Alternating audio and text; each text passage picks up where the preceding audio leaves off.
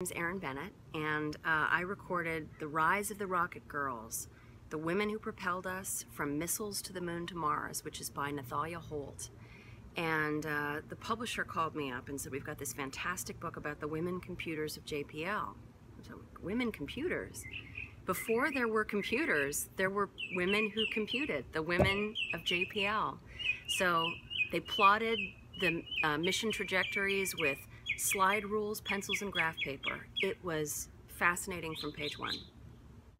So I was actually driving by JPL, which is nearby in Pasadena, uh, and I contacted uh, my old childhood friend Kate Rubins, who's an astronaut, and she's she's actually going on a mission um, to the International Space Station for six months.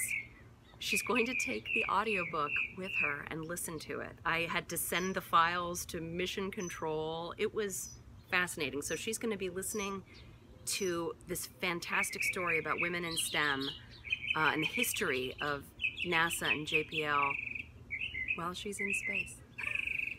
I couldn't be more thrilled about that.